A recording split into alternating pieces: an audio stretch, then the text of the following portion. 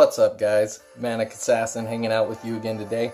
So it looks like I take one weekend off to go camping and everything drops for news for Assassin's Creed.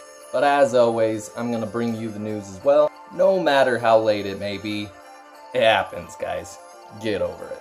I'm a procrastinator. It's okay. We'll all live. But anyways, let's get into it. So it looks like over the weekend we got an announcement for Assassin's Creed Dynasty. That's going to be a new manga written entirely in Chinese. Now, this manga is going to be set during the year 755 in the Tang Dynasty, following the main protagonist, Li Yi. Now, according to the information given, we will be starting out the story with him as an assassin already, as we watch him work his way up to a Master Assassin status. Now as for the other information that has been leaked, it looks like we may have another Assassin's Creed game coming up. They did do this with Assassin's Creed Unity and Rogue, where they wanted to make sure that all of their players could have a game no matter what system you had. This is a good way for Ubisoft to monopolize on people not being able to purchase the new system as well as making sure that the fan base has their own unique game as well if you chose not to upgrade to the next system. Now these are just rumors still, we don't know if it's accurate, and Ubisoft has straight up come out and said that they will not do an Assassin's Creed Feudal Japan nor China. That's what Assassin's Creed Chronicles was actually for.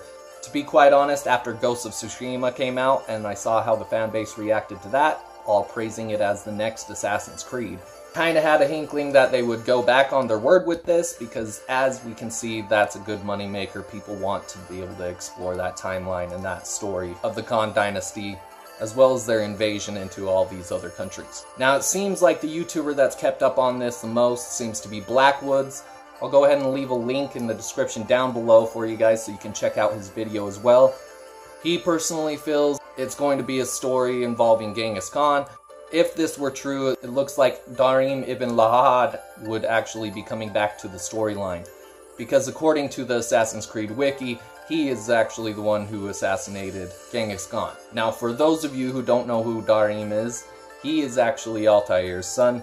You see a quick snip of him at the end of Revelation. This is a take on the story that I've been waiting for him to do for a long time, ever since Revelations. I think it would be an awesome go at it and I think that it would resonate a lot with a lot of fans. Now, if Ubisoft is smart, they're to wait another year before they release this, bringing more validity to these supposed leaks, because as they state, this is supposedly a game for 2022.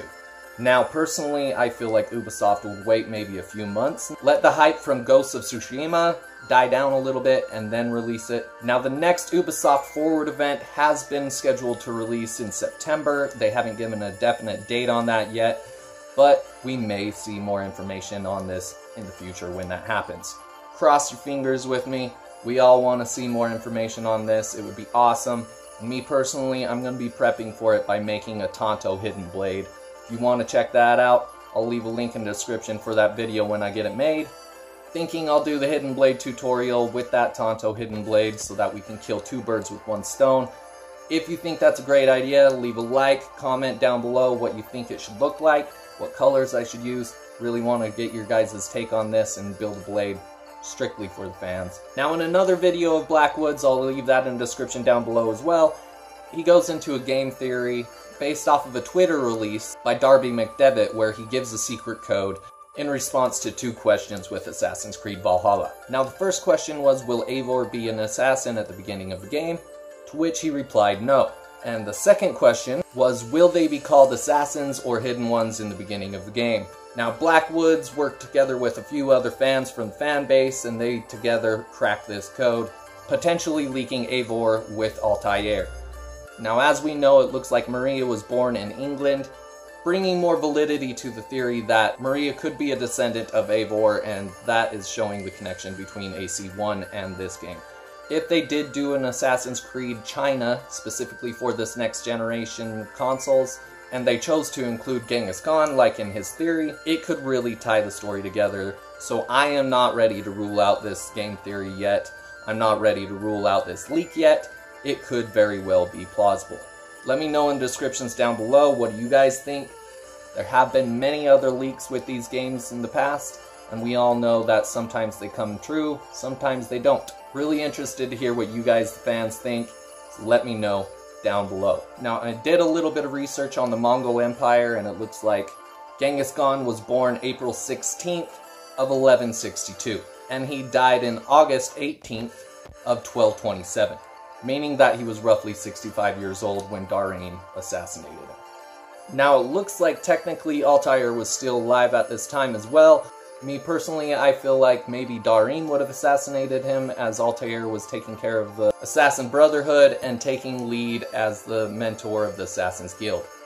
To which we would have seen the events in Assassin's Creed Revelations where Altair builds the vault and hides the pieces of Eden within it, taking place roughly about 30 years after that. It looks like it would fit into the timeline perfectly, and me personally, I think it would be a great idea to take a take on Darim's story so that we can get a little bit more of Altair's story, but not actually spoil the hype that was left when he died.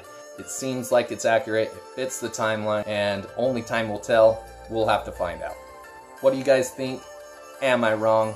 Now, throughout this video, I've went ahead and taken the liberty of adding in just a few of the leaked pages from the manga. Now, Blakwoods feels like this could possibly be an extension of that story, and since it's a leak, we still don't know yet. But if it did take place with the Genghis Khan Empire, it would have taken place roughly about 600 years afterwards. That's everything for you guys today. What do you guys think? Do you want Assassin's Creed China? Or do you think that they should still do it in feudal Japan? Now, an interesting thing about Chronicles was that was actually meant to be a full-fledged Assassin's Creed game. Most people don't know, but the processing power of the PlayStation 4 wouldn't be able to handle it. So they converted it to a 2D platform gaming format. If this leak is not a new installment in the series, it could very well be a remake of the Chronicles series. Maybe they're utilizing the PS5 in a way to where they can reformat the game in the way that they originally intended and then re-release it once again. Either way, guys, it's going to be awesome. Let me know what you think in the description down below. Have a great day, guys. Manic Assassin. Peace.